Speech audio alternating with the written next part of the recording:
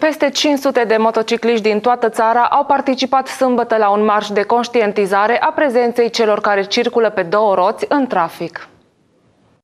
Motocicliștii s-au reunit în weekend lângă Alba Iulia, la un eveniment organizat de Apulum Bikers, în cadrul unei campanii caritabile destinate dotării cu echipament terapeutic a centrului Maria Beatrice Alba Iulia.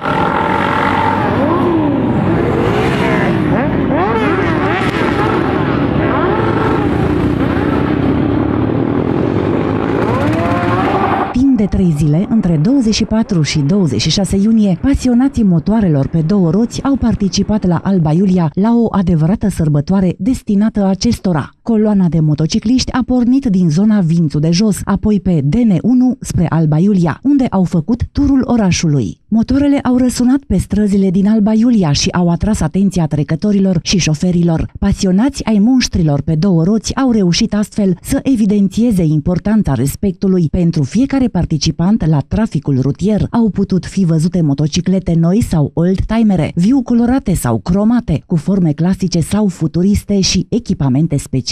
Scopul acestui festival moto, organizat de clubul Apulum Bikers al Baiulia, a fost însă în principal campania caritabilă destinată centrului Maria Beatrice din localitate. În aceste trei zile, la Vințu de Jos și Alba Iulia, au avut loc parade de prezentare a motocicletelor, costumelor și dotărilor auxiliare, jocuri și concursuri interactive, dar și campanii de conștientizare a motocicliștilor în trafic. Au mai avut loc, tot în cadrul Bikers Party Alba Iulia 2016, concerte și recitaluri ale unor formații rock din România, între ele numărându-se Bucovina, Times of Need, Be the Last, Good Day, Crepuscul, Sanctuar, Stardust.